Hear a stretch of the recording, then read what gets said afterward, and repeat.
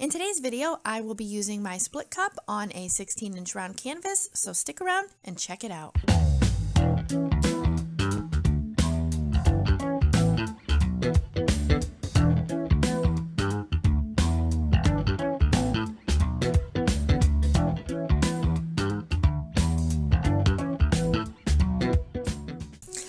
Everybody, I hope you all are having a great day.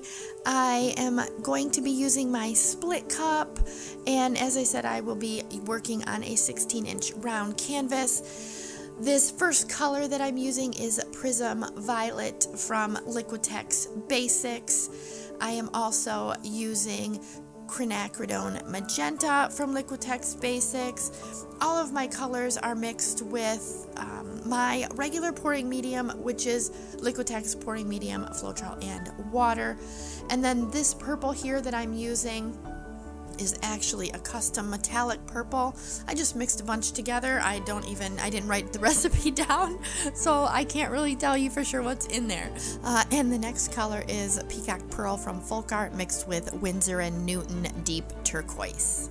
And I just wanted you guys to notice how my dividers are uh, at an angle there. It does really help how the paint comes out of the cup.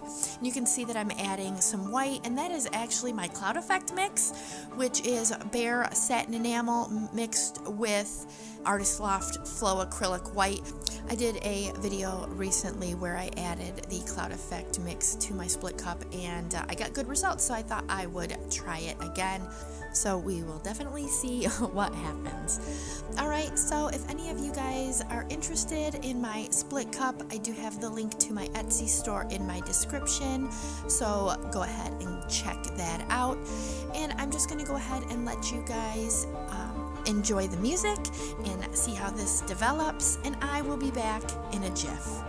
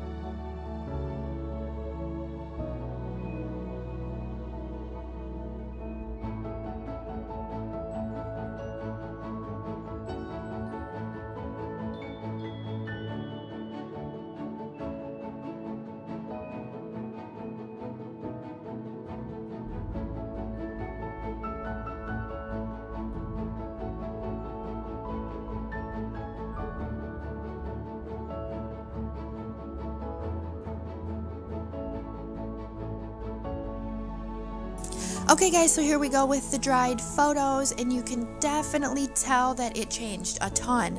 That metallic purple just took over all the other colors. Um, they're very subtle, the blue and the magenta. I do like how the um, the white cloudiness is, is um, showing through there.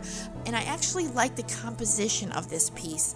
Um, this may be something that I could add some letters to or embellish somehow. All right, so let me know what you guys think. Leave me a comment below. Don't forget to like my video, subscribe to my channel if you have not already, and also share this video. It really does uh, help me out more than you know. And I have a bunch more videos that I know you will enjoy as well, and I will catch you in the next one.